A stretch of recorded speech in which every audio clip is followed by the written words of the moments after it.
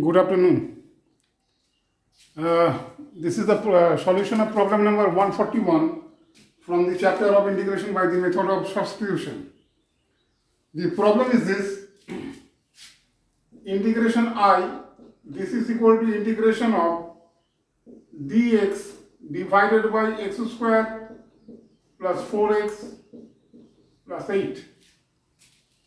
So this is the given problem integration of dx divided by this x square plus 4x plus 8. So this problem is not difficult one.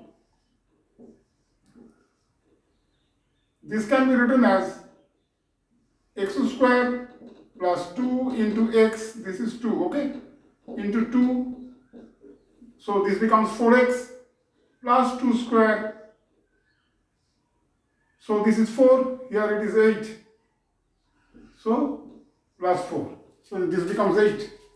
So this is equal to integration of dx divided by x plus 2 whole square plus 4.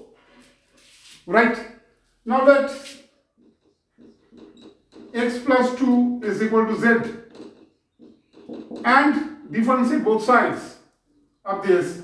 So on differentiation we, we are getting dx is equal to dz because derivative of 2 is 0. 2 is a constant.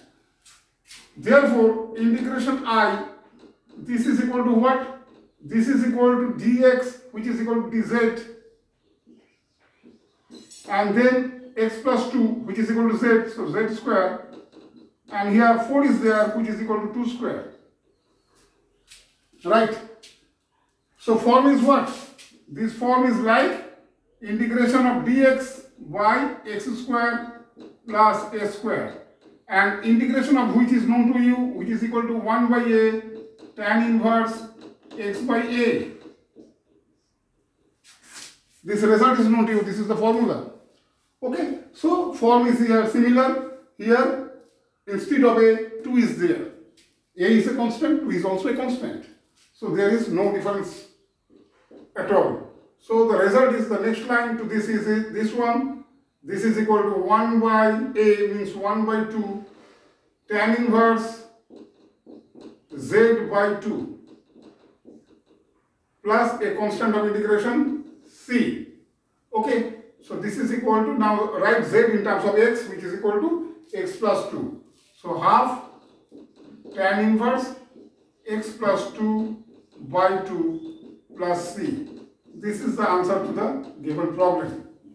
So this was the solution of problem number 141. In the next video, we'll move to problem number 142. Chapter will remain the same, that is integration by the method of substitution. Okay, thank you for watching this video.